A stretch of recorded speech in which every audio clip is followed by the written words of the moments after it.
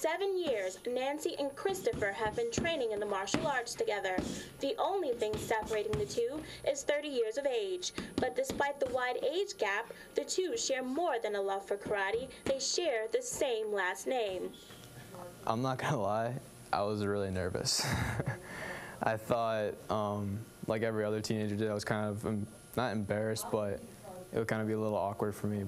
But now, Christopher Chappell's feelings have changed. No longer is he embarrassed about taking karate classes with his mother, Nancy Chappell. The Chappells are one of five mother-son duos at Tierney's Karate in Camillus. But it's really more about the mothers themselves who formed a remarkable bond in their love for the martial arts.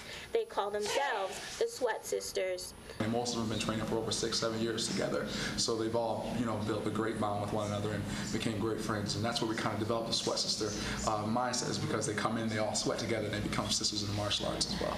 The Sweat Sisters have been around. They range in age from 45 to 63, and they all have first, second, or third degree black belts. And they do it as much for fun fitness. Studies show martial arts helps fight off the loss of muscle strength and endurance associated with normal aging.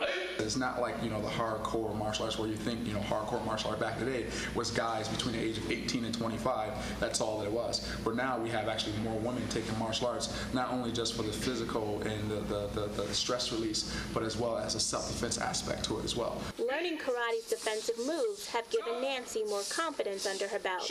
I'm confident, and I'm com- confident that I could at least handle myself in any kind of situation. Not that I would be, not saying I could get out of anything, but I just think I have a better chance than a lot of people do. Karate has also helped her take charge in her own classroom on the BOCES campus where she offers training to dental hygienists. I was an orange belt when I started teaching um, in my classroom, teaching dental assisting. And I was just a pushover. Um, but now I've developed quite a backbone, and I am not afraid to tell people what they need to do. With a healthier and stronger backbone, Nancy says karate gives her the physical strength to help her husband, who has multiple sclerosis, in and out of his wheelchair.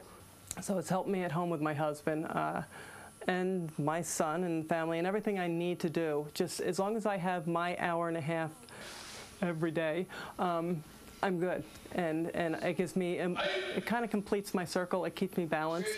Christopher says though he and his mom compete against each other, he concedes she will usually win the battle both at home and in the dojo. I don't want to hit her because, you know, I don't want to get grounded for like the next month.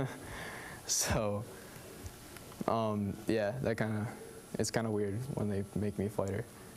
It's a healthy competition, Nancy says, and Christopher agrees. A mother and son in the martial arts, a karate partnership, they say, most parents would fight for. Engaging in karate is a great way for every age group to stay active. In February, two men over the age of 70 received their black belts at Tierney's Karate, proving you're never too old to try something new.